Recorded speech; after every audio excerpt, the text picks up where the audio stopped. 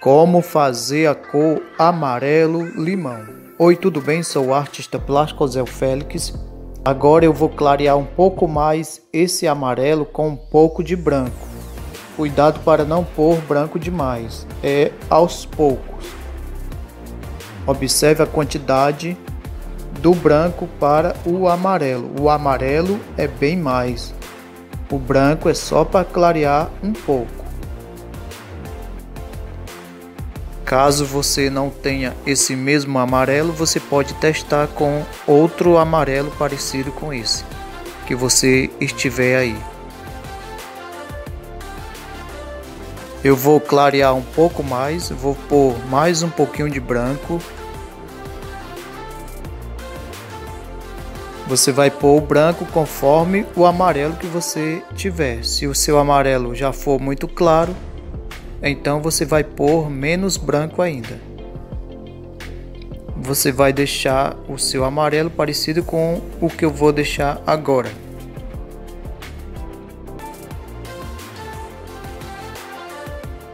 Agora vamos pôr um pouco de azul. O azul que eu vou pôr na minha mistura é o azul turquesa. Caso você não tenha, é, procure usar um azul parecido com esse. Observe a quantidade. Olha só, é bem menos. Observe aí a diferença. É bem menos. Olha só a diferença do azul para o amarelo. Agora é só misturar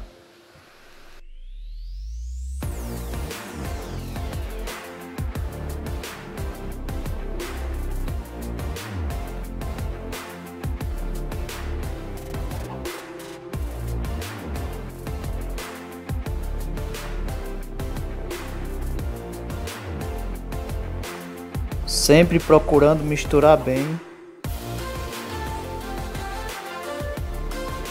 Se ficar alguma dúvida, é só deixar nos comentários que eu respondo para você.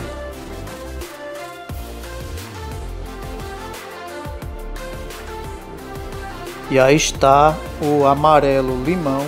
Eu espero que vocês tenham gostado. Deixa aí o seu like nessa mãozinha embaixo. Se você não se inscreveu ainda, se inscreva no canal e acompanhe muitas dicas que eu vou estar trazendo para vocês. Vou deixar mais dicas na descrição desse vídeo e na tela.